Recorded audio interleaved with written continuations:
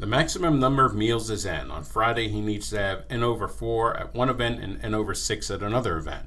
So we want to find out that total, n over 4 plus n over 6, mean to add these two fractions, we're going to need a least common denominator. The least common denominator of 4 and 6 is 12. So I'm going to multiply this one by 3 over 3, multiply this one by 2 over 2, and this will give me 3n over 12 plus 2n over 12 equals 5n over 12. And that is the exact number of meals he has to have ready on Friday. We want to know which one of these sums equals 5n over 12. Let's look at them one at a time. Choice A. We have a 3 and a 12 in the denominator. Multiply, the common denominator, of course, would be 12. So multiply this one by 4 over 4. So we get 4n over 12 plus n over 12 equals 5n over 12. So this one works. A is one of the answers. Now B, we have denominators of 5 and 30. So 30 would be the least common denominator. So this one's going to get multiplied by 6 over 6.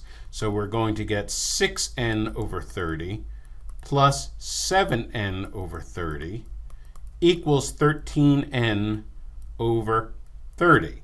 That does not simplify, and this does not equal 5n over 12. These two are close in value, but they are not equal. And so this one does not work. B is not one of the answers. Now let's look at C.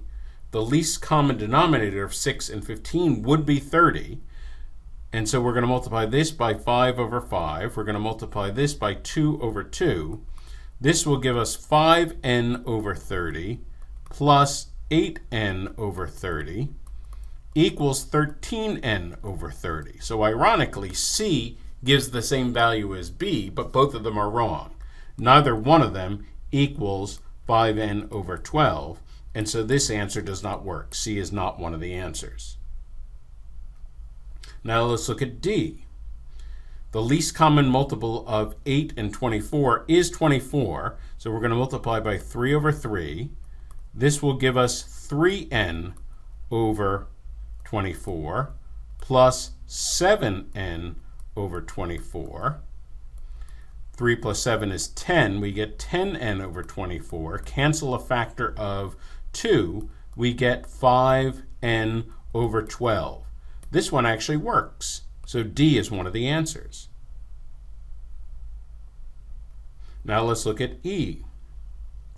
The least common multiple of 18 and 36 is 36. So we're going to multiply numerator and denominator by 2 here.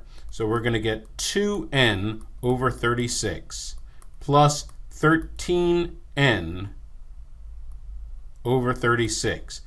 2 plus 13 is 15. We get 15n over 36. Cancel the factors of 3. We get 5n over 12. So that one also works, and E is also a possible answer. So reviewing, B and C did not work, but A, D, and E are all answers. So A, D, and E are all answers to this question.